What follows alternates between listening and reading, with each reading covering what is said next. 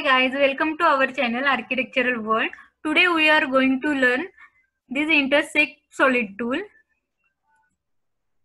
For this I am going to draw a object,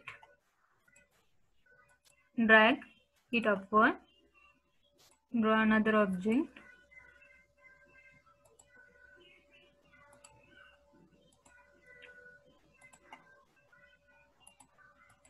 First, you have to convert this object into solid object. Make group, then check into entity info. Yeah, this is solid group.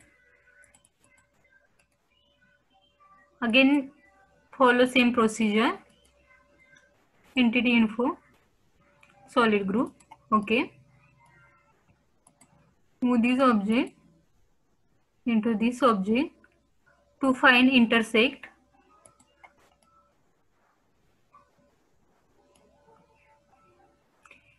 only simply looks uh, like intersect but uh, we can't find any intersected part.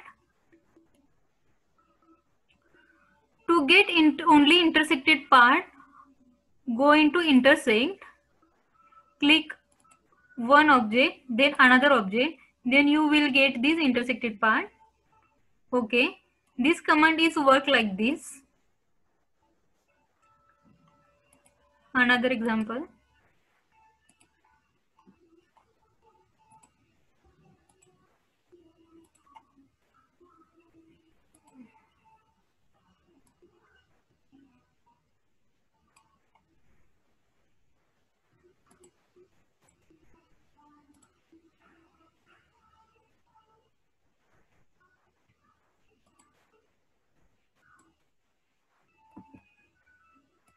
First you want to convert it into solid group. Make group. Check. Yes, it is solid group. Make group. Then entity info. Yes. Then move this object to make intersect. Okay. Then to find intersect,